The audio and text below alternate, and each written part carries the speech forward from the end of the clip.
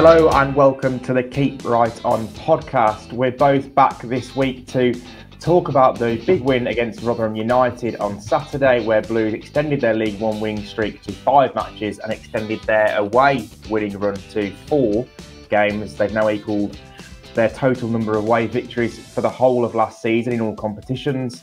Brian, uh, I guess you can't be anything other than happy after that weekend, can you? No, I mean I was slightly grumpy when I saw the um, saw the weather conditions up there, and you were basking in the sunshine while the rest of the country was getting washed away. Uh, but no, absolutely not. Uh, too tricky. A week with two very tricky games on paper, and Blues have summarily dismissed both opponents, which I'm sure we'll come on to. Uh, so yeah, we're starting to get to the point where expectations are just starting to be exceeded for me, anyway. Yeah, I mean, on the game itself, that that first half was just absolutely outstanding. Um, to be fair to Rotherham, they started well first five minutes. Um, you know, had a couple of set pieces. I think Ben Davies straight away knew the battle he was in for when Rotherham kind of launched it onto the head of Jonson Clarke-Harris right next to him. Um, but Blues really settled themselves down after five minutes. A lovely little touch from Willum Willumsson, a little nutmeg in, in midfield, kind of just settled those nerves and next thing you know, Blues are playing some of the most swashbuckling football League One has ever seen. Um, two great goals, pretty pretty similar goals actually. Chris Davies analysed them afterwards, and when, when you think about it, they were very similar goals in that Jay Stansfield made the run in behind for both of them after Lyndon Dykes had dropped off. First one, he didn't quite get the shot on target because it was blocked and obviously fell to Iwata, and he finished brilliantly. And the second one, he did get in behind, and you know the finish was absolutely superb. Blues could have had four or five, I think, if they kept their foot down for the whole game. But you know, it wasn't to be. They didn't run away with it in that way, but it was so comfortable. Yeah, it's what we were saying when we were talking about Dykes when he first signed. Is that yes, he's got this sort of appearance and demeanour and almost reputation as a big lumbering target man. But when he even when he was at QPR, he did drop in and allowed runners to go beyond, uh, and you know that's quite a a tried and tested old tactic, isn't it? I saw Nottingham Forest do that against uh, Brighton yesterday when Chris Wood dropped in and, and they sent runners in against Dunk uh, and the other centre back whose name escapes me at the moment. Um, but yeah, we'll come on to Dykes Dykes um, full debut, won't we, in a second? But you can just see, and I think this is what inspires most confidence is you can see the attacking patterns that are clearly being worked out in the in training uh, being brought to bear and you know bear fruit in matches as well. So yeah, really encouraging from that point of view. Definitely, we're so familiar with that style now, aren't we? The the three five two in possession, um, and you know the the four two three one out of possession. It worked so brilliantly for, for the both for both goals. I mean, the second one especially. You know the way Taylor and Hickman held the position, played it back to Willum Willumsson, who was in space, and the the clip over the top was just absolutely sublime. So. Um, yeah, two re- two really good goals, a really good Blues performance. Um, you know, we could sit here and talk about it all day, but I don't think people want us to do that. Uh, Brian, you you afterwards, I didn't have the pleasure of going into uh, to Steve Evans' press conference because Blues did their media pitch side, so I was too busy doing that. But I know you picked up on what Evans had said um, before the game. He'd referred to Blues as you know Real Birmingham, the Galacticos of League One, um, and he was pretty complimentary post match as well, wasn't he? Yeah, he described Blues as the best ever League One club, and I actually think that's a podcast in itself. And it is. You know, maybe we'll try and get some guests on to discuss that. Uh, at the risk of being called, uh, you know, big time Charlies or putting the cart before the horse because Blues aren't promoted yet. Um, but yeah, it is an interesting debate. Uh, when I put those uh, quotes into the public domain, uh, I was immediately contacted by, like within 30 seconds, by somebody from Ipswich saying, "Oh, calm down." Uh, Steve Steve Evans always says that about any team that that he's his side has just been beaten by. Uh, you know, get back in the box a little bit. So, I mean, yeah, Steve Evans is going to big up the team that's just played his side off the park, mm. isn't he? Um, but yeah, I, mean, we mentioned last week, didn't we? We felt like he was getting his excuses in early. Maybe he could see what's coming, and that doesn't mean to say that you know it is just excuses. He clearly recognised that his Rotherham team were going to be up against a side with you know a much greater depth quality. Uh, and what was pleasing this time actually was the way they just took control of the game in the first half, and it wasn't a case of you know, them having to rely on running their legs out of a side and overwhelming them in the second. It was just an assertive front foot after five or 10 minutes, as you said, assertive front foot dominant first half performance that just basically, you know, said, uh, you know, is this a potential banana skin? Just sidestepped it and we move on. So, yeah, uh, Evans was very complimentary. He's been complimentary all the way through this, you know, the last couple of weeks.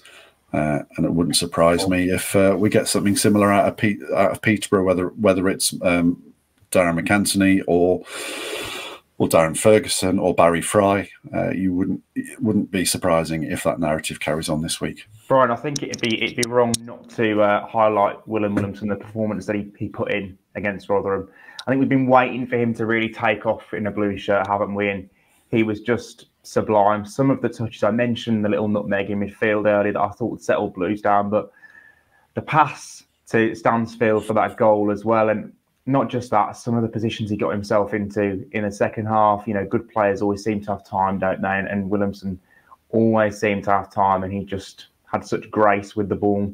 Um, we you, you must now think we're starting to see the best of him, and that must be, I suppose, as well due to the fact that he's kind of shaken off that little that little injury he had at the start of the season and in pre-season, and has got himself into the team, and he's now a fixture without the competition that Luke Harris provided in the early weeks. Yeah, it was interesting what Chris Davies said about that, though, wasn't it? You, you know, you asked him a question, and I was expecting him to wax lyrical about his technical ability mm. and his and his vision, uh, but it was actually his work rate and and positioning without the ball that Davies spoke sort of most glowingly about. Uh, and we have seen that clearly, and, and I sort of have noticed that. I think I've noticed it more for him losing a couple of tackles in the centre circle that have left Blues vulnerable. Um, you know, we, sh- we should praise him for being there. And I thought, oh, does he need to be a little bit more physical sometimes out of possession? Um, but Davies really highlighted the, the work that he's doing when Blues don't have the ball. Um, but he, you know, he'll be paid for and was brought to the club for what for that ability that he does have when when Blues are in possession.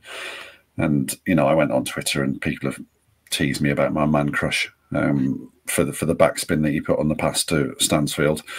Um, I actually thought, you know, there was there was another very elegant moment as well in the first half, uh, just in the build up to when Emil Hansen hit the post, and he just he, he took the ball in quite a tight space close to the left touch line and he worked himself an angle just to set Hansen away.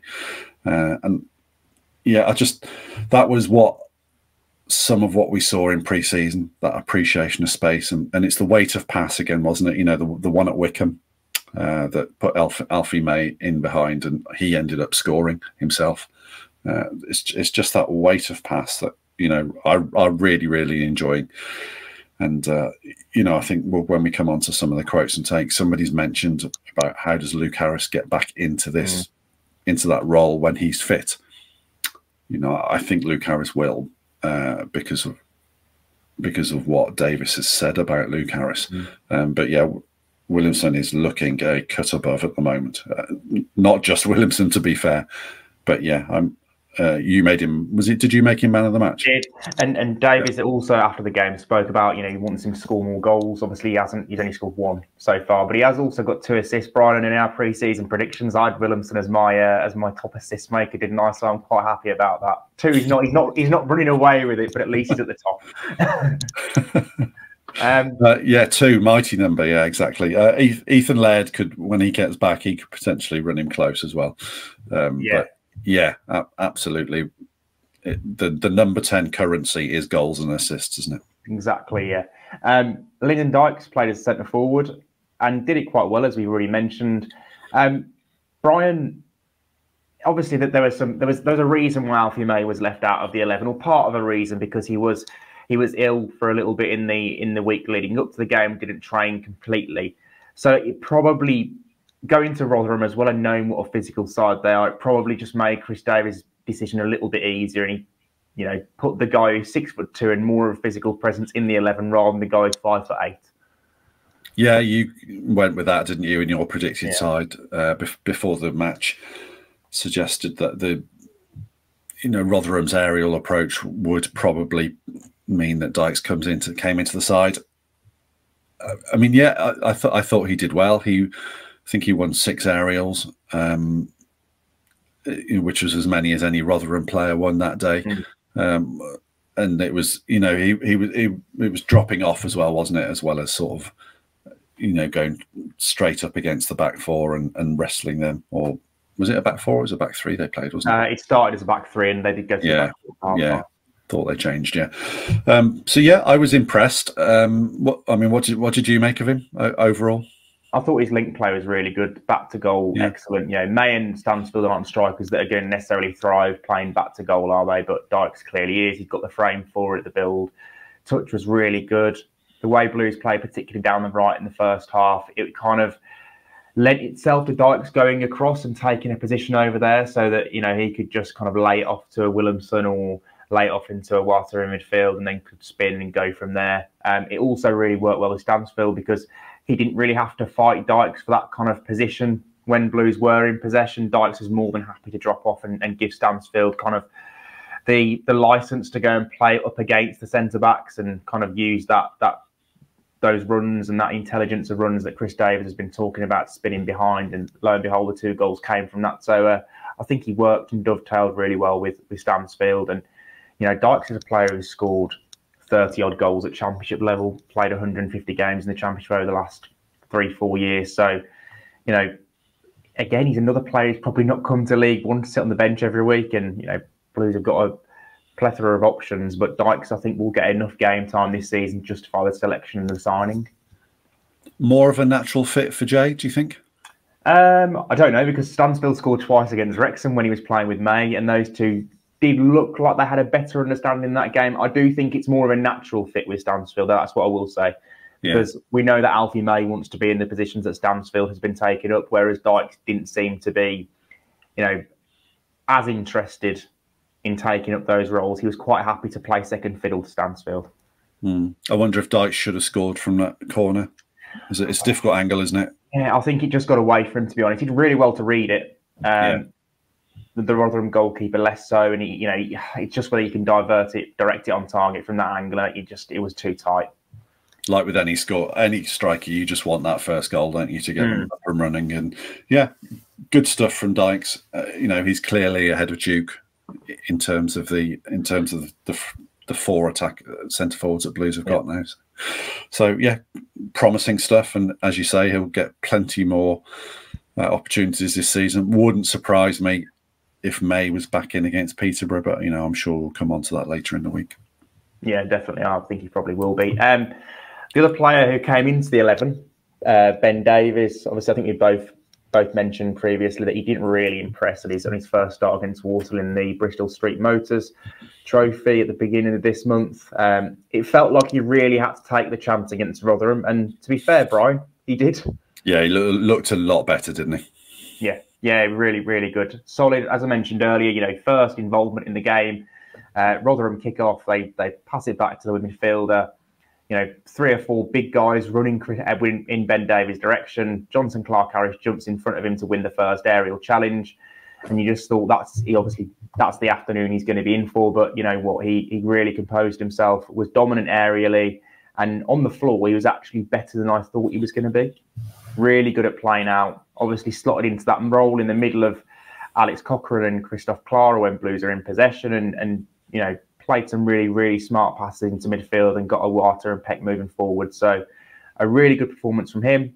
Speaking to him afterwards, he, he was under no illusions that he had to play well and had to have a good game to kind of keep himself as the, the next cab off the rank almost. I don't think he's expecting to start the game against Peterborough. I think we're probably all expecting Christian Bielik to come straight back in because of how important he is to, to the way that Blues play. But Davies has done himself the world of good and he's probably not done Dion Sanderson any favours. Yeah, probably as big a compliment as you can pay him is the fact that Bielik wasn't missed. No, no, no, he wasn't. He wasn't at all. Um, and I think we all thought he would. I mean, that was that was Blues' first League One clean sheet of the season, wasn't it? So, uh, you know, can you? It, it, feels harsh to go and change a defence that has kept a clean sheet, especially against uh, a very, you know, on paper a decent Rotherham attack, and also on paper a, a, team that we all expect to be competing for promotion against Blues this season. Um, but Bielik, I've said a couple of times, he is that guy. He's probably the only undroppable. I think when he's when he's fit and when he's available, he's going to play. So I'd be surprised if Davies kept his place, but it does feel harsh.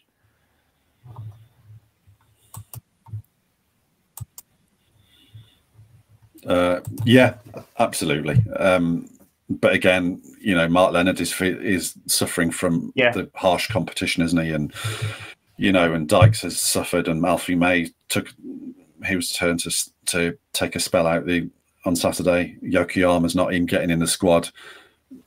It is it's a harsh environment, isn't it? And you know, hopefully, you know, I think we might be coming on to the competition for places with with some of the questions and takes. Um, but yeah, hopefully, hopefully, you know, Davies can manage that because we think you know potentially that is one one of the bigger the bigger issues. Uh, speaking about Alfie May, um, he was left out, and he was. You asked Davies about that, didn't you? And, he, he, mentioned he had a cold. Is that right? Yeah, he said he had a, a, a cold in the in the week leading up to the game. So, again, like I said earlier, it probably just kind of made it a little bit easier for Davies to leave him out and go go down the Dykes route. Um, you know, like, like you said earlier, but I think he'll probably be back in for that Peterborough game. Peterborough don't strike me as a team that are massively direct, and you need four or five six foot plus players in the eleven. I think Blues will be more comfortable playing their football against against Peterborough, and Peter probably want it to be that type of game. So I think he'll come back in for that. But but yeah, that was the reason. Um, interestingly, he did actually take the captain's armband from Klarer. I think when he came on, um, I'm sure I saw saw him with it with it on his arm towards the end, and obviously Klarer didn't go, so he must have. Um, an interesting point on on the uh, on the captaincy because I I wasn't expecting it to be Klarer, to be honest, Brian. I, I thought he might go for Peck. Um, just because of kind of longevity, he's the he's the long he was the longest serving player in the uh, in the eleven on uh, on Saturday, and he joined the club six months ago. So that kind of says about the, a lot about the transformation that Blues have gone through. Um, I thought he'd probably go for Peck, but I did see him have a quiet word with Klarer um, not long after the players had come out onto the pitch for their kind of pre-game amble walk, whatever it is. Um, and yeah, it looked like he was kind of telling that he was going to be the captain for the day. So, uh, so yeah, Klarer again, excellent player, but yeah, it looked like May took it on for the uh, the final ten minutes or whatever he was on the field plus stoppages. Yeah, I don't know what kind of personality Klarer is behind the scenes, whether he's that big voice, but certainly when he's on, on the pitch, you know, he plays like a real leader, if only physically, doesn't he? You know, he really takes takes charge of of the situation. You know, he's often the one playing playing the ball out. Um, and I think if I think you're right, I think May did get the armband, and that's probably a measure of his, you know, his the way he's standing in the mm. in the in the squad and in the training room because we know he is a, a, chirpy little chappy and you know he probably is quite a big voice or a, loud voice in in that dressing room. So and it's goes back to what i said earlier about managing you, know the the different agendas that all pl- that players will have in you know wanting to look after their own careers. And you know it's just a nice little show of respect to show that Alfie May still is central to to, to what's happening and, and the way Davies sees him. Um, Alex, you wrote a piece. Your first, I was slightly surprised actually. Your first quotes piece when it came through um, wasn't about the performance or you know another goal for Stansfield. Mm. It was it was about Chris Davies going to the away fans and giving giving it the the, the old fist pumps. What it was um it was an interesting selection. What what yeah what, why why did that stand out to you? Yeah, just because I mean uh, we we've spoken in the week as well about Iwata and Stansfield scoring goals. I've spoken to him again about Stansfield at I think the pre-Wrexham press conference. I've spoken to about Iwata pre-Rotherham press conference. It felt like I was kind of killing him on Iwata and Stansfield questions. Yeah. Um, there are a couple of others. Obviously, the May thing I came out with quite quickly afterwards as well because I just thought that was important. Yeah. Um, but yeah, just just the fact that I mean I know it's kind of this whole idea of like celebrating properly after winning at Charlton, after winning at Wycombe, Leyton Orient, um, God, and Rotherham. I felt, almost forgot who Blues played on Saturday. Um, you know, Blues took a little bit of stick, didn't they, on social media at the start of the season um, for, for, for like posting videos from of Davies celebrating so so hard with with the fans after these games, and uh, I just wanted to kind of you know, it wasn't really actually like led in that way. It was more me asking him about kind of just just kind of alluding to the fact that he seems to be really enjoying it and enjoying the the celebrations with fans after the games, and also the players do as well because after Davies had done that, Stansfield and May did it as well, I think, because uh, normally Christian Bielik does it, and I think there was someone trying to push Klarer towards it, but he didn't quite go for it. Um, so it's just it's becoming a theme, and it's part of the feel good factor, isn't it? And and David just said, you know, why not? Why not kind of enjoy celebrating with fans after games, especially when you know the team had a really hard time last year, has had a hard time for the last yeah. decade. Hasn't won many games on the road. You know, I mentioned it earlier. Won four game away games in the whole of last season, and one of those was at Cheltenham Town in the Carabao Cup first round. So, you know, it's not a team that's been used to win on the road. So when they do win, why not celebrate? You know, it's pretty simple, isn't it? You might as well enjoy a win because they're hard to come by a lot of the time. I don't think they're going to be as hard to come by for Blues this season, and we're going to be celebrating a lot, I think. But um, you know, when Blues get back into the Championship, it won't be as easy. If they get to the Premier League, then it'll be even harder. But um, why not enjoy a win? There he is, flouting his when again. There's absolutely no doubt in your mind, is there? Um, no, I I liked his comments because you know it was he made a reference to the fact that fans haven't had much to celebrate around mm. you know for the last 10 years and you know that showed an understanding of the situation that and that he was walking into um and for me yes you know yes it's a bit cloppy isn't it but it's not going to grow old you know if it means blues have Blues have won away again, or you know, or won at home, you know, wherever wherever they win, I'm all for it. You know, you know, I'm yeah, I've absolutely no issues with it at all. You know, and and I do think that on social media, you know, there's going to be a lot of a lot of criticism, jealous, jealousy laced criticism aimed at Blues, isn't there? So you know, if, if that's what they've got to go at, look at the way you're celebrating winning away from home. You know, bring it on, I say.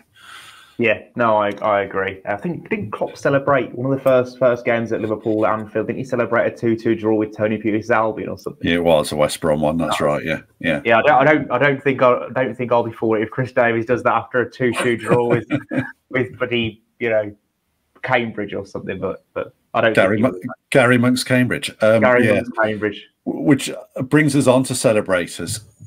Blues have got some some of their players the way they celebrate. I'm, I can not use the word. There's a bit of S Housery going on, isn't there? you know, Stansfield scored, and yes, he's at the end where the Rotherham fans are, but he stands there and you know, and he's he's staring at the Rotherham fans. Taylor Gardner Hickman jumps on his back. You know, they're unapo- unapologetic hmm. celebrators. Mm. This this bunch, aren't they? They are, and Stansfield had that in him last season as well, didn't he? He's he's, yeah. he's done that quite a bit. He he seems to, uh, you know, for someone, I wouldn't say, you know, when you speak to Stansfield, he's not the like the loudest, most kind of loudest person in the room. He's not the most. He doesn't come across the most confident person in the room. I'll say he's confident himself, but he's quite a quiet in the way he delivers his messages. Yeah. Um, well, I will say I think he's a really good talker. Um, but he doesn't. He doesn't strike you as that kind of, um, you know, extrovert character who would celebrate that way. But you know, he, he did it last season. He's He's done it again this season. He seems to kind of be thriving under that pressure of being League One's costliest ever player, having opposition fans having a pop at him every week, you know, saying about the, the fee and things. And interestingly, Blues fans have started chanting, what a waste of money every time Stansfield does something good. Um, so, yeah, I think that's going to happen throughout this season, isn't it? There's like a, I think there's going to be an, an irony to a lot of the chants that Blues fans sing throughout this season. And uh, Stansfield, yeah, and also, you know, Iwata and Peck seem to want to march towards the fans every time one of them scores, which is fantastic as well.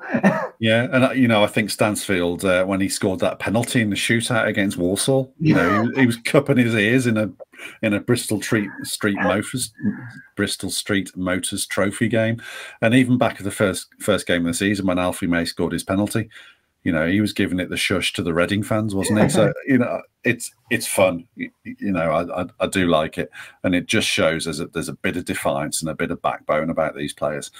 Um, going on to the uh, the Stansfield song, the Waka Waka, I, I just think it's I think it's brilliant.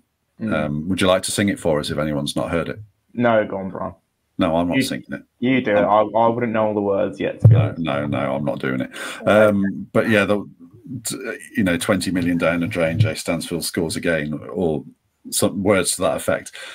It's absolutely brilliant. You know, one of my favourite songs to come to come out from the uh, away support for a long time, and hopefully we'll hear it a lot more. Uh, we've got quite a few takes and questions. Uh, Alex, do you want to kick us off with some of those? Uh, yes, I can. So, first take from Kieran. Uh, thank you, Kieran. Chris Davies has Blues playing the best football, at least on a continued basis, we have in 20 years. And alongside it being the most effective way to actually win football games, it means Blues are genuinely enjoyable to watch. Still think we're only about 60% right now as well. I think Blues. I, I, think Blues are more than sixty percent now. Yeah, should we? Yeah. I mean, we, we had sixty percent, didn't we, when we initially yeah. discussed it? Should we bump that up a little bit? Where? How high are you going? I'm at 75, 80 now. Oh, I'm not eighty. I, I, am sixty-seven point five. You're going low. Uh, no, I'd go seventy-five. I'd go seventy-five. Really? Yeah, I think there's still way more to come. You know, some of the players. I don't think Willumsson's really hit his stride yet. Although we have seen a couple of really good performances. Uh, that eleven had, you know, Alfie May hasn't scored in the last two games. Stansfield, you know, has so much more to come. Iwata genuinely might be the best midfielder outside the Premier League. Uh, Peck hasn't scored yet. You know, Peck's an absolutely sensational player as well. Yeah, there's Ethan Laird to come back. He started the season really well. Christian Bielik didn't play against Rotherham. There's Lee Buchanan to oppose Alex Cochrane at left back. That's going to be one hell of a battle. There's so much quality in this in this Blues team, and so many players haven't really set the world alight yet, and they are going to have moments in the season. Emil Hansen, who's really come into his own the last couple of games, I think, especially at Rotherham. He, I'm expecting him to have a breakout game at some point as well. Yeah, indeed, it would have been great if uh, that shot did it hit the post or did the keeper? I think it was a uh, save. Yeah, good, good strike. He thought yeah. it was in. You could tell. Yeah, he, and that that's going to be the type of goal he scores, isn't it? Coming mm. inside with with his right foot. But yeah, I'm encouraged the fact you think Hansen's kicked on a little bit in the last couple of games because he's been the one that's maybe, you know, you've had the question mark over. Um, but yeah, interesting take from Kieran. Matt Hawkins says easily the most complete away performance in a few years. Uh, not sure how many more questions this team will need to answer this season. Uh, already already put two of the tricky sides to bed early in this season and before even out of second gear. So yeah, Matt's Matt's take is similar that mm. Blues aren't quite fully in their stride, but in, in terms of playing at maximum potential, uh, but that they are, you know, dealing with these sides. You know, this run of games we we spoke about it beforehand, didn't we? And as as maybe the acid test for Blues. And mm. actually, it's a credit to them that the better opposition seems to have brought out better performances in them. And I wonder if that's just the Peck and Iwata com com combination. Is that such a is that is that the fulcrum of the side? Is that is that the reason why it seems to be ticking over a bit better? I do think it is such a game changer, Brian. To be honest, I mean, you look at those two players, and and I think we were we were talking about last week, weren't it? Is there is there a better midfield pairing outside the Premier League? You know, look at most Championship midfield pairings, even the ones at the top end of the league, and I'd have Peck and Iwata over them, to be honest. Um, Iwata's been an absolute game changer of a signing. He looks genuinely superb. I don't think he scored many goals for Celtic, but it probably shows the kind of caliber of player he is playing in League One. That he's so above the level that he is adding goals straight away. Um, so so yeah, the Blues look a very a very good team. What I will say is, you know, I don't think we should sit here and constantly say that Blues are out and getting out of second gear because are we, are we expecting Blues to go and win four or five nil every single week? I think those games will come. I think there'll be a few this season where they, they do blow teams away, but I don't think we should like expect it to happen. As long as Blues win and you know, like against Rotherham, win comfortably, then uh, I think we'll all be happy. Yeah, I wondered if Saturday was actually going to be that day. Actually, mm. two goals I mean, reasonably early, uh, and still creating chances throughout that the rest of the first half. I wondered if, if there was a four or a five coming. Yeah. There will be some fours and fives, as you as you say, um, but you know it ended up being just you know a really professional mm. and dominant away performance. Just go going back to Matt's point about um, easily the most complete away performance in a few years. I think back to the 5 0 at Luton, which is, I think was August 21, uh, yeah. Lee Bowyer's, Lebo's season. Um, I think this this was more dominant in a way. You know, Blue scored a lot, quite a lot of goals on the counter that day. I remember Chong and Scott Hogan, you know, being given a lot of space in behind Luton.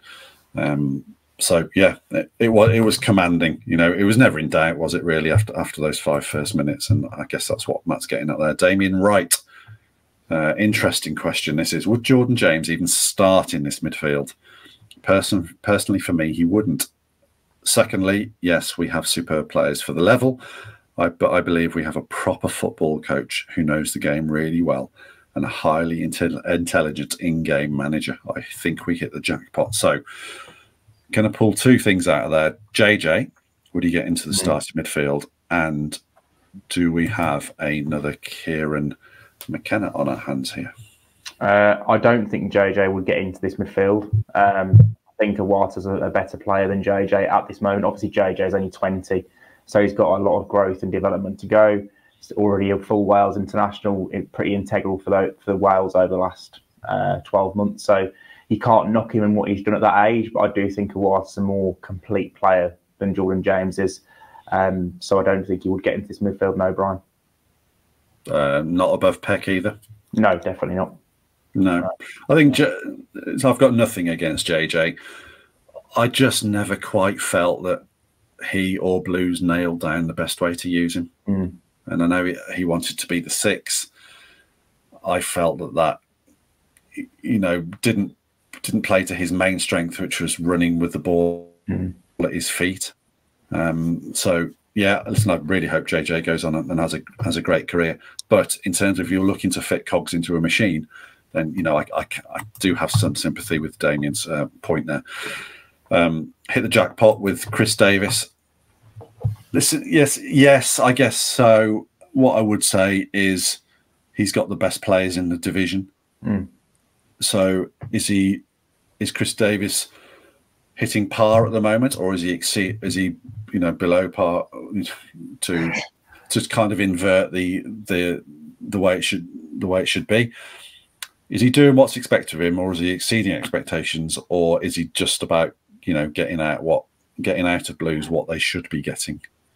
And I think unless unless Blues did something absolutely exceptional this season, which would be for me to break the League One points record or to, to I mean, sounds absolutely stupid saying it six games in, but to go, you know, the season unbeaten or whatever, you know, Chris Davies is probably not onto a winner, I think, because he's he's going to be expected to take Blues up. He's probably going to be expected to win the league.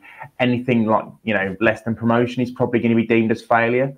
Um, I think he's doing an excellent job so far. I don't think he should be underestimated. The job he had to do during the summer to train, change the style of play and obviously transform the playing squad to players that he wants to work with. Um, to do that in such a short space of time, I think is you know really, really, really commendable. Um, I've been really, nothing but impressed by the job that Chris Davies has done. I yeah. think it's a little bit premature to kind of um, make comparisons to Kieran McKenna. Obviously, those comparisons are going to be there because that is quite clearly the route that United have gone down in terms of they've appointed a, a novice manager who's you know had a very good career as a coach at the highest level. Um, and they've gone down in terms of recruitment, a very data led approach. So those comparisons between Davies and McKenna are obvious, but I wouldn't be like looking too deeply into the two managers at this moment in time because also they both had different League One uh, journeys, haven't they? You know, McKenna had players at Ipswich, you know, kept a lot of the players that were there and worked with them. Davies has probably got a very different route in terms of ripping up the squad. So yeah, I think we'll probably judge Chris Davies and a lot of these Blues players a little bit more harshly. Um, you know, I'm going to say it again, but when they're in the championship and you know they're at, they're at a level where you think, okay, now let's see what you're made of. Yeah, I agree. You know, I think he's got Blues moving in the right direction, as you as you say. You know, all the all the signs are, are good. The you can tell the game plans are, are detailed. You can mm. tell that the you know the attacking patterns have been worked on we know for a fact, you know, that they've discussed how they're defending set pieces, how they're playing out. You know, you know, he's been quite open with his with his tactics, hasn't he? And again, he, you know, he revealed to you how important a five-yard square pass from Taylor Gardner Hickman was to what was a brilliant assist and lovely finish.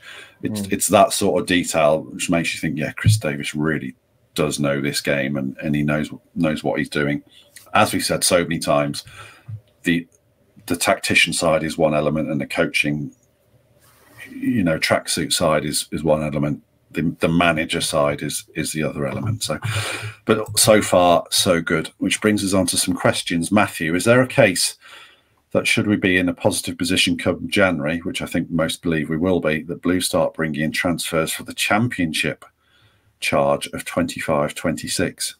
I think Troy Deeney said something about this um, over the weekend that uh, Blues in January would be recruiting, you know, top end championship players to go again, you know, back to back. So, you know, we really are in a world where we're putting the cart before the horse and then the next cart before the next cart before the next horse a little bit, aren't we? Aren't we?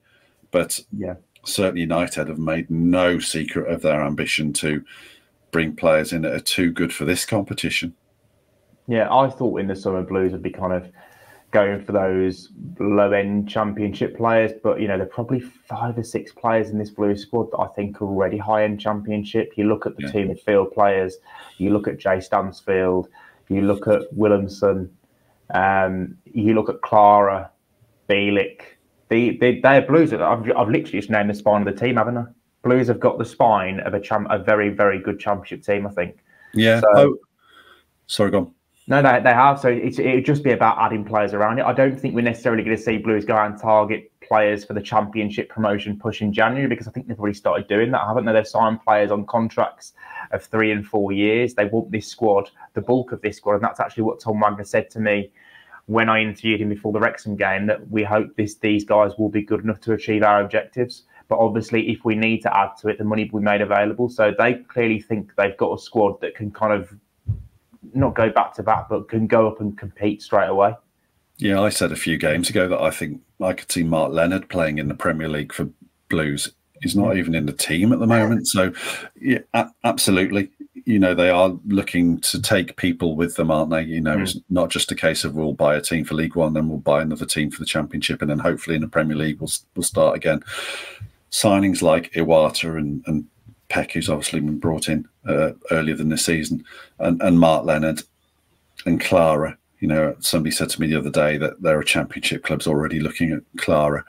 You know, those sorts of signings, that they're, they're made to go all the way, aren't they? They are, yeah, definitely. I mean, Yokoyama and uh, Iwata in the interview they did with Blues TV a couple of weeks ago, they were asked for their kind of aims and objectives for their time at Blues, and they both just said Premier League. So you know, that the Blues have built a squad that he's going to be capable of getting there. They, it's just going to need, like every team needs in the summer months, just tweaks here and there to make it better.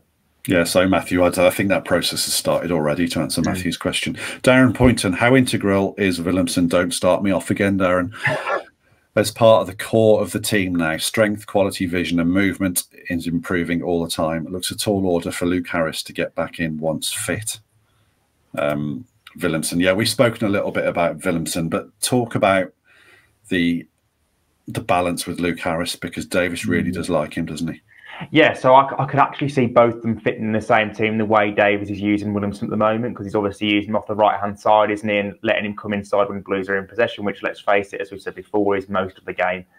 Um, Willumsson seems to be working quite well in that role, even in like in terms of defensive aspect, tracking back and supporting the right back. He has been doing it really well. So um, I think there's not it's you know it's not beyond the realms of possibility that, that Willumsson and Harris can play together. We mentioned uh, you know you mentioned Davies on Harris. He after the Wycombe game when Harris scored, Davies kind of basically said I want to get him in positions where he can score goals because he has that knack.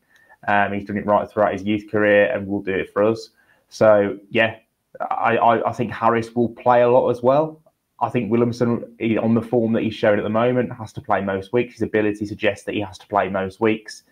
Um, but I think Harris will get a, a, lot of game time, and it wouldn't surprise me if they played in the same team a lot of the time as well. But again, that, that leads you to the one of is it Alfie May who has to drop out of the 11? If Harris and Willumsson play, then probably yes.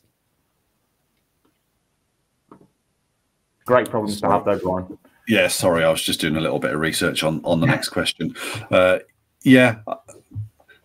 The, only sort of thing I would add to that is that players that come in on loan have probably been had their parents' club told that they're going to play. So, mm.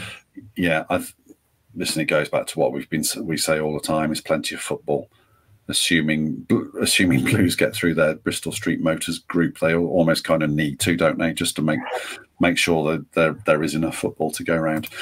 Um, uh, Paul, can you see Blues offering Paik a new contract in January? A lot of interest in the summer, which there was. A clear class above at this level, and possibly even the level above. Yes, at the level above as well uh, in the championship. New contract. So I was just checking. I didn't know off the top of my head uh, when his contract expires, but he's got 26. another uh, 2026. Yeah. Mm. Uh, so he's we're, we're getting to 18 months, aren't we? And good football clubs do do that sort of sort of succession planning or the taking care of housekeeping, I suppose, it, it is a better term for it, don't they? Um, yeah.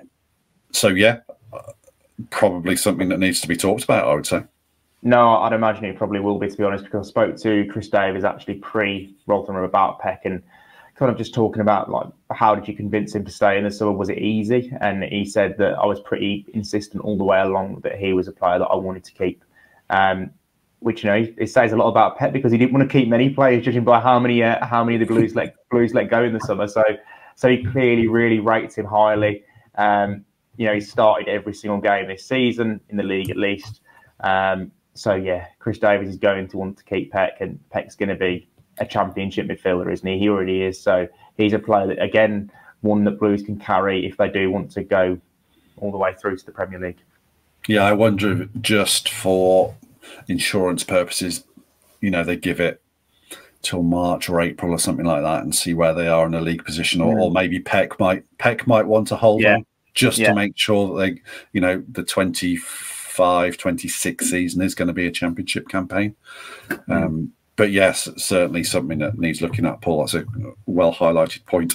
Uh, Max, can you see us struggling to hold on to any of the players in January? Or do you think anyone has brought in enough to want to stay for the whole journey?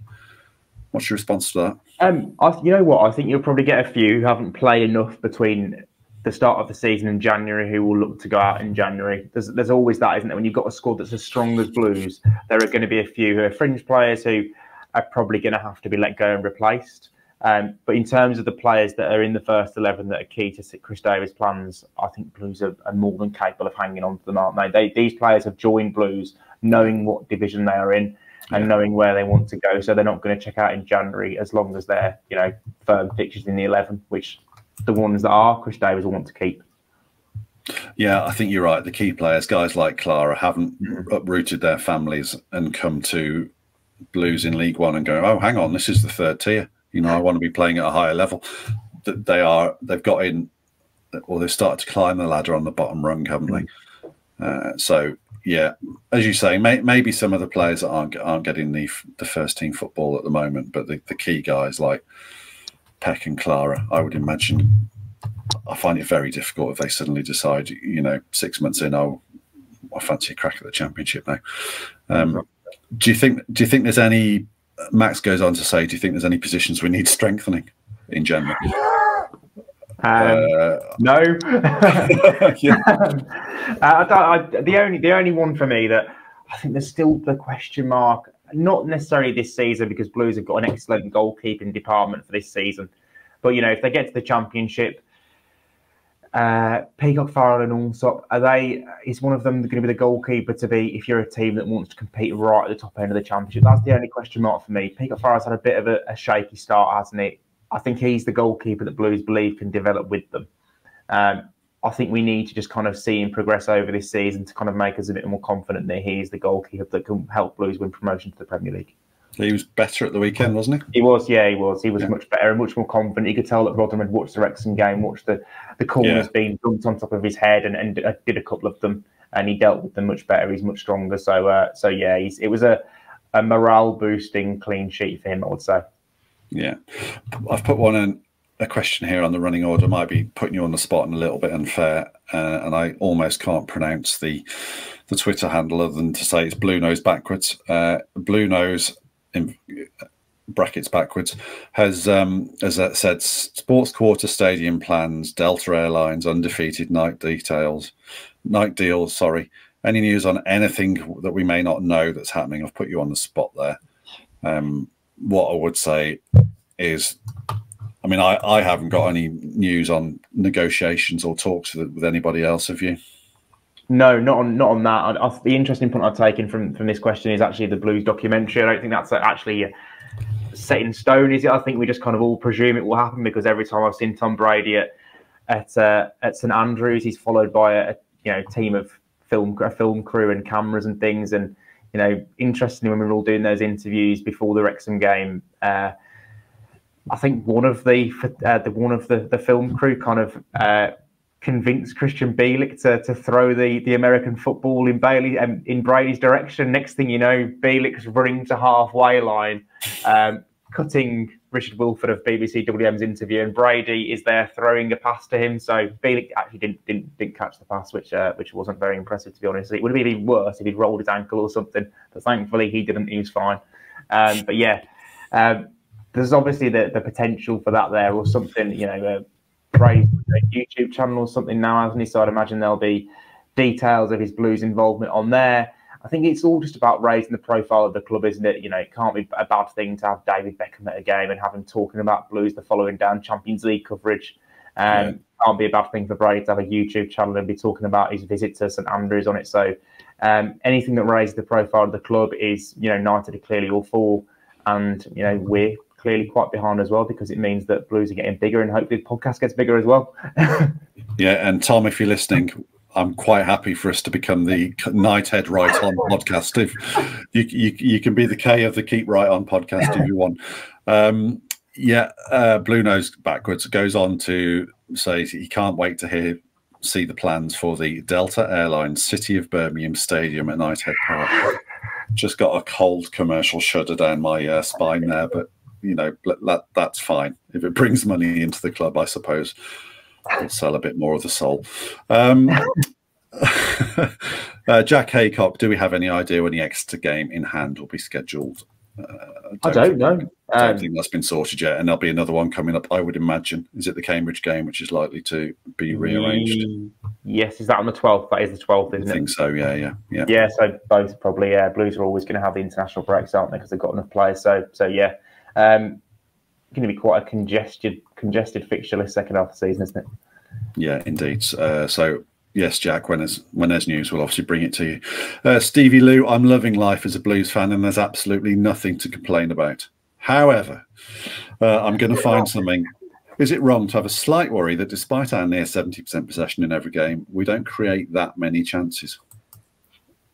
It's, a fair point, yeah. It is a fair point, and I was I was yeah. thinking about this in the way up to Rotherham. Um, it's not they've had a lot of the ball, and it's not like they've been banging on the door of opponents for for 70, 80 minutes in a game. Against Wrexham, they're very good. Didn't create a, an awful lot outside the goals they scored. To be fair, um, the most dominant, you know, I've seen I've seen Blues this season was the final, you know, stoppage time against Reading when they literally were absolutely banging on the door to score a second goal after Alfie May had scored from the penalty spot. So um, they've got it in them to really dominate teams and create chances. We just have we've seen it in more control this season. They seem so kind of uh, setting the system and, and setting working through the working through the thirds in a, in a particular way. They they don't really batter teams as, as, as much. I wouldn't say they're quite actually mm. respectful and don't go and kill teams four five four four oh. five nil don't be don't be giving me that. Don't don't be giving me the Steve Cotterill line.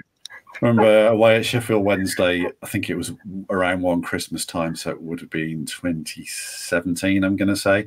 Uh, Sheffield Wednesday had two players sent off. Blues won 3 1 quite comfortably. And uh, Steve Cotterill came out with the, we we didn't run the score up out uh, no, run the score up, please. Run the score up. Um, we'll, we'll, deal with the loss of respect.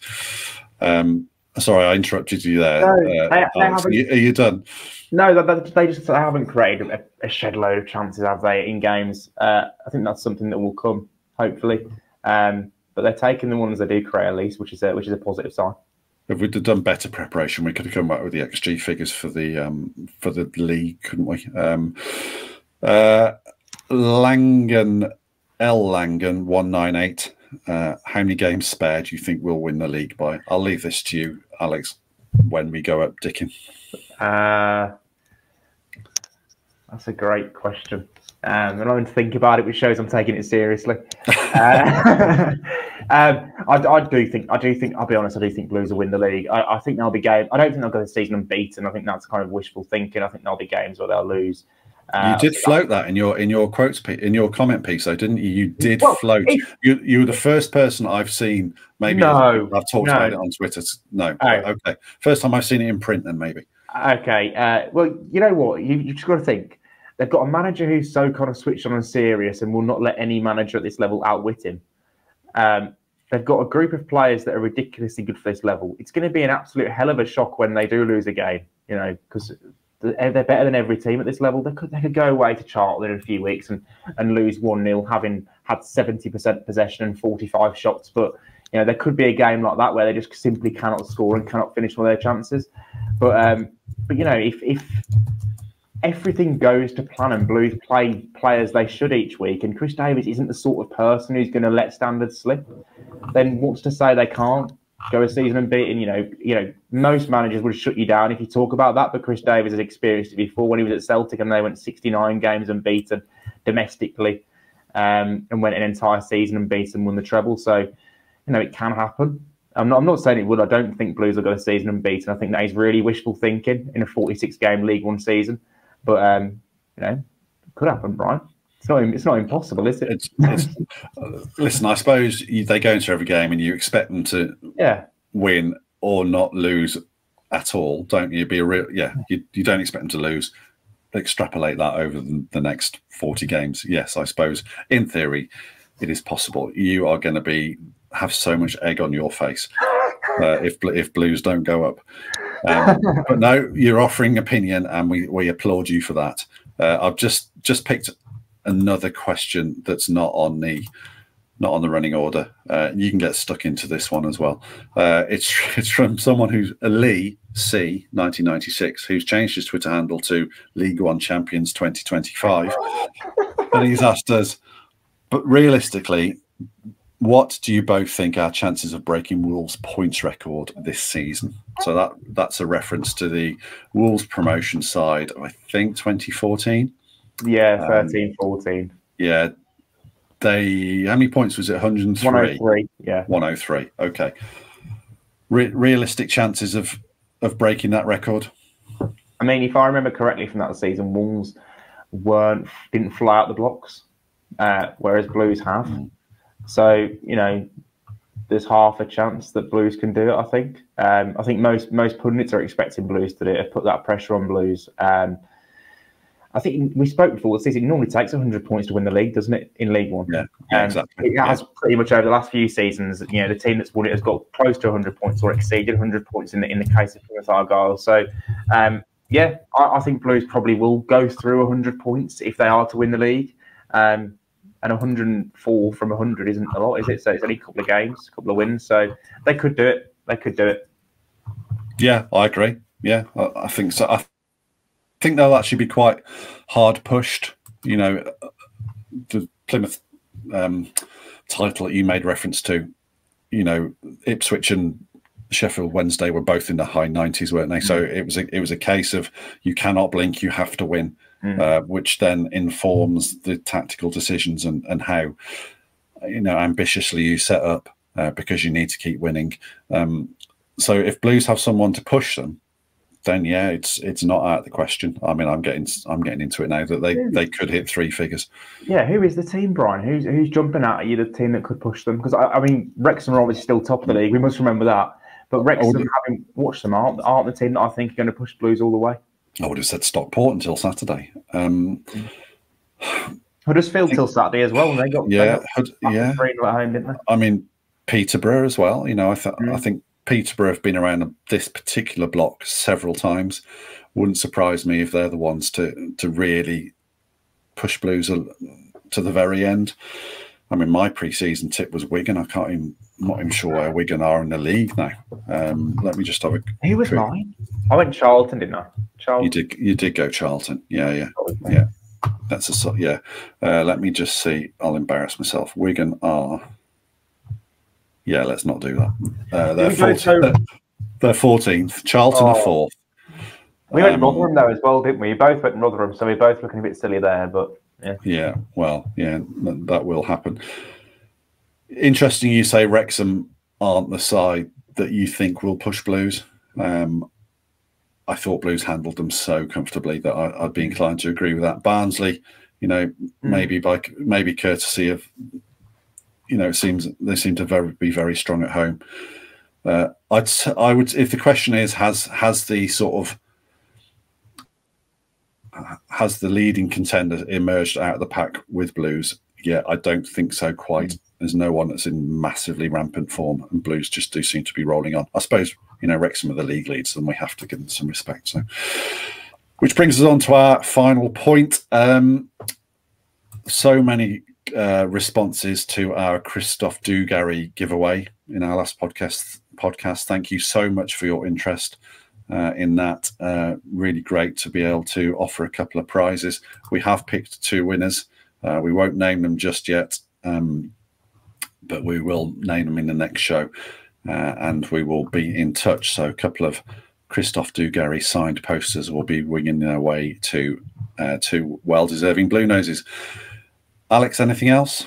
Once I've run down to the uh, the local co-op to photocopy those uh, those Dugarry posters, then uh... yeah, yeah. Try not to smudge it when you're signing it this time as well.